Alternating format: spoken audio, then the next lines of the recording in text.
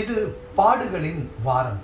இயேசு கிறிஸ்து சிலுவைக்கு செல்வதற்கு முன்பதாக பட்ட பாடுகளை நினைவு கூறுகின்ற வாரமாக இருக்கின்றது. இந்த பாடுகளின் வாரத்திலே இயேசு கிறிஸ்து தம்மை உருவகப்படுத்தி சொன்ன நானே என்று மொழிந்த ஏழு வார்த்தைகளை நாம் சிந்திக்க இருக்கின்றோம்.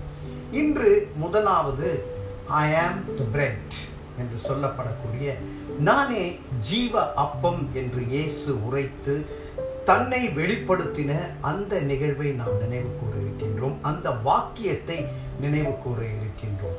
நமக்கு எல்லாம் தெரியும் எகிப்திலிருந்து மக்கள் புறப்பட்டு வரும்பொழுது இஸ்ரவேல் மக்களுக்கு தேவன் வானத்திலிருந்து மன்னாவை கொடுத்தார். அன்றாட போஷிக்கின்ற ஒரு மன்னாவாக இருக்கின்றது. அந்த மன்னாவை எடுத்து பத்திரமா வச்சுட்டு நாளைக்கு சாப்பிடலாம் நம் அவங்க நினைச்சாங்கன்னா முடியாது. அன்றன்றுள்ள அப்பமாக இருக்கின்ற மன்னாவாக இருக்கின்றது. இயேசு கிறிஸ்து ஐந்தாயிரம் புருஷர்களை திரளான ஜனக்கூட்டத்தை அவர் போஷிக்கின்ற காரியத்தை நாம் யோவான் ஆறாவது அதிகாரத்திலே பார்க்க முடியும். அதில் முதல் பாகத்திலே பார்க்கும் பொழுது இயேசு கிறிஸ்து அவர்களை வனாந்திரத்திலே பந்தி அமர செய்து அங்கே அவர்களுக்கு இந்த அப்பத்தை கொடுக்கின்றார். அதற்கு பிறகு வருகின்ற வெளிப்பாடு தான் இந்த ஜீவ அப்பம் என்று சொல்லப்படக்கூடிய ஒரு வெளிப்பாடு.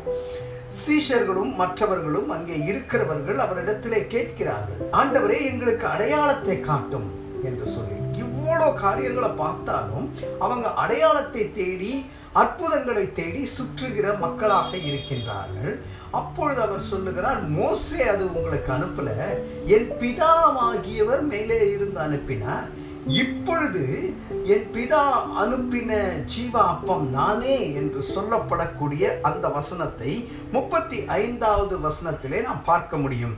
இயேசு அவர்களை நோக்கி ஜீவ அப்பம் நானே. என்னிடத்திலே வருகிறவன் ஒரு காலும் பசியடையான். என்னிடத்திலே விசுவாசமாய் இருக்கிறவன் ஒரு காலும் தாகமடையான் என்று சொல்லி இயேசு தன்னை வெளிப்படுத்துகின்றதை பார்க்கின்றோம் பிரியமானவர்களே. இந்த ஜீவ அப்பம் நமக்கு பலன் தருகிற ஜீவ அப்பமாக இருக்கிறது. யோவான் முதலாவது அதிகாரம் பதினான்காவது வசனத்திலே நாம் பார்க்கும் பொழுது வார்த்தை மாம்சமாகி என்று பார்க்கின்றோம். He taste like honey in the rock என்று வார்த்தையை குறித்து நாம் சொல்லுகிறோம். தேனிலும் மதுரமானது என்று சொல்லி. இந்த வார்த்தையை நாம் புசிக்கும் போது நாம் பலன் அடைகின்றவர்களாய் இருக்கின்றோம். அருமையான சகோதரர் சாம் ஜபதுரையா அவர்கள் அன்றன்றுள்ள அப்பம் என்று சொல்லி ஒவ்வொரு நாளும் நம்மை போஷித்துக் கொண்டிருந்தார் அவருடைய ஊழிய காலங்களிலே. அதுபோலதான் இயேசு கிறிஸ்துவும் தன்னுடைய வார்த்தையை கொண்டு போஷித்துக் கொண்டே இருக்கின்றார் நம்மை. அன்றன்றுள்ள அப்பம் நமக்கு பலன் தருகின்ற அப்பமாக இருக்கின்றது. இரண்டாவது அவர் சொல்லுகிறது ஜீவன் தரக்கூடியதாக இருக்கிறது. இந்த ஜீவன் தரக்கூடியது சரீர பிரகாரமான ஜீவன் அல்ல நித்திய ஜீவனை பிதாமானவர் எனக்கு கொடுக்கிற யாவும் என்னிடத்திலிருந்து வரும். என்னிடத்திலே வருகிறவனை நான் புறம்பே தள்ளுவதில்லை என்று முப்பத்தி ஏழாவது வசனத்திலே சொல்லி முப்பத்தி எட்டாவது வசனத்திலே என் சித்தத்தின்படி அல்ல என்னை அனுப்பினவருடைய சித்தத்தின்படியே நான் வானத்திலிருந்து இறங்கி வந்தேன். அவர் எனக்கு தந்தவைகளை ஒன்றையும் நான் இழந்து போகாமல் கடைசி நாளில் அவைகளை எழுப்புவதே என்னை அனுப்பின பிதாவின் சித்தமாக இருக்கிறது அது சித்தம் செய்யக்கூடிய ஒரு அப்பமாக இருக்கின்றது. பிதாவின் சித்தத்தை இயேசு கிறிஸ்து செய்ததை போல நாமும் அவருடைய பிள்ளைகளாக அவருடைய சித்தத்தை செய்யக்கூடிய பிள்ளைகளாக இருக்க பலன் தருகிற ஜீவாப்பம் நித்திய ஜீவனை கொடுக்கின்ற ஜீவாப்பம் அது ஒரு வெற்றியின் ஜீவ அப்பமாக இருக்கின்றது பிரியமானவர்களே.